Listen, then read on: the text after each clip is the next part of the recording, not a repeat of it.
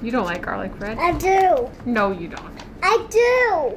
Three year old Blake Turnbull has been on a wait list to see a pediatric gastroenterologist for two years for an unknown tissue on her liver. The family was told the wait time could be six years. But now, the gastroenterologist, Dr. Simone Nicol, is leaving the province, so her wait is indefinite. It's stressful and it creates a lot of anxiety. Sarah Turnbull is frustrated and met with the health minister last year. He said that it was a priority and that he was working on it. But that was when we had two. Then we had one and now we have zero. So if if you're going by the score, we are not doing better, we're doing much, much worse. The Ministry of Health declined an interview but says recruitment and retention of physicians is a top priority.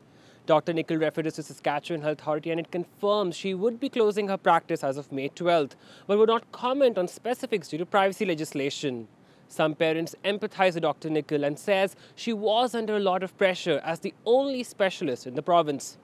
Both of Lisa Glyn's daughters have a liver condition that results in horrible itching. She's worried their medicine supply could be disrupted without a gastroenterologist to write a prescription. Without it, it was waking up in the morning with blood on her bed sheets from scratching and open wounds and scars and just really, it's a difficult thing to watch child. She says she foresaw this doctor shortage and looked out of province.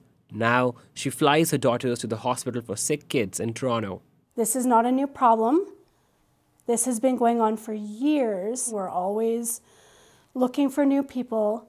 Um, but the status quo isn't cutting it. It's not filling the gaps. The SHA says it's working with the provinces to implement a remote service delivery plan. But the parents we spoke to say they don't understand what that means, whether they will be flown out of province or a doctor will be brought in. Brett Ishtial, CBC News, Saskatoon.